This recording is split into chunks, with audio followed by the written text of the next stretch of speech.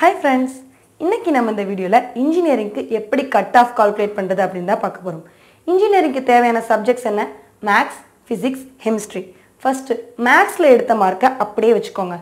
ஃபிசிக்ஸில் எடுத்த மார்க்கை ரெண்டால் டிவைட் பண்ணி வச்சுக்கணும். இதே ப்ராசஸ் தான் ஹெமிஸ்ட்ரிக்கும் அதையும் ரெண்டாக டிவைட் பண்ணி வச்சுக்கோங்க.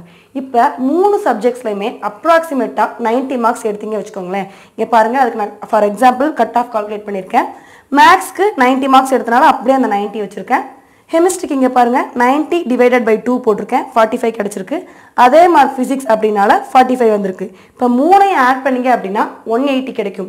டூ ஹண்ட்ரடுக்கு ஒன் எயிட்டி தான் உங்களோட கட் ஆஃப் இப்போ உங்களுக்கு ஒரு டவுட் வந்திருக்கும். நான் மட்டுமா ஒன் எயிட்டி எடுப்பேன்? எத்தனையோ பேர் எடுப்பாங்களே. அப்போ யாருக்கு ஃபர்ஸ்ட் ப்ரிஃபரன்ஸ் கொடுப்பாங்க அப்படின்னு நீங்கள் கேட்கலாம். இதில் ஃபஸ்ட்டு உங்களுக்கு என்ன பார்ப்பாங்க அப்படின்னா ஃபோர்த்து சப்ஜெக்ட் பார்ப்பாங்க.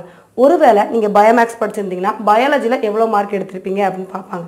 அப்படி இல்லாட்டி கம்ப்யூட்டர் சயின்ஸ் படிச்சிருந்தீங்கன்னா கம்ப்யூட்டர் சயின்ஸில் எவ்வளோ மார்க் எடுத்திருக்கீங்க அப்படின்னு பார்ப்பாங்க. ரெண்டுலையும் யார் ஜாஸ்தி வாங்கியிருக்கா அப்படின்னு பார்த்துட்டு அவங்களுக்கு ஃபஸ்ட் ப்ரிஃபரன்ஸ் கொடுப்பாங்க. அப்படி இல்லாட்டி அதுவும் சேமாக இருந்தால் என்ன பண்ணுவாங்க அப்படின்னா சீனியாரிட்டி பிரகாரம் டேட் ஆஃப் பர்த் பார்த்துட்டு ப்ரிஃபரன்ஸ் கொடுப்பாங்க. இதுவும் சேமாக இருந்தால் ரேண்டம் நம்பர் அப்படின்னு ஒன்று கிரியேட் பண்ணி சீட் கொடுப்பாங்க.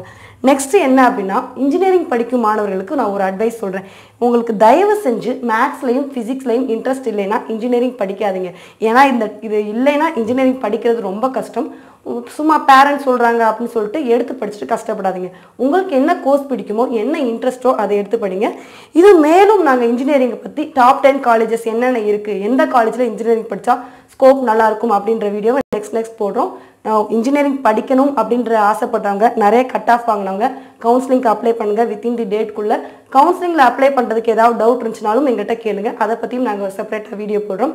இந்த வீடியோ யூஸ்ஃபுல்லாக இருந்துச்சுன்னா ப்ளஸ் டூ முடிச்ச ஸ்டூடெண்ட்ஸ்க்கு ஷேர் பண்ணுங்கள் இந்த வீடியோ பற்றி ஏதாவது கருத்து இருந்துச்சுன்னா கமெண்ட் செக்ஷனில் போடுங்க. இந்த வீடியோ பிடிச்சிருந்துச்சுன்னா இந்த வீடியோக்கு லைக் போடுங்க. இது போல் மேலும் இன்ஃபர்மேஷனில் வீடியோ பார்க்க எங்கள் சேனலை சப்ஸ்கிரைப் பண்ணுங்கள் அது பக்கத்தில் இருக்க பெல் ஐக்கானை மறக்காமல் கிளிக் பண்ணுங்கள் தேங்க்யூ ஃபார் வாட்சிங்